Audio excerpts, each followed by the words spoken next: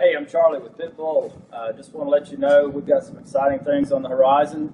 We're going to have uh, five new products, and we're going to do those one new product every month. So April, May, June, July, and August, we're going to show you a new product. Uh, and we're going to update you every month, let you know what's what's come out. So uh, hope you stay tuned, and as always, thank you for choosing Pit Bull.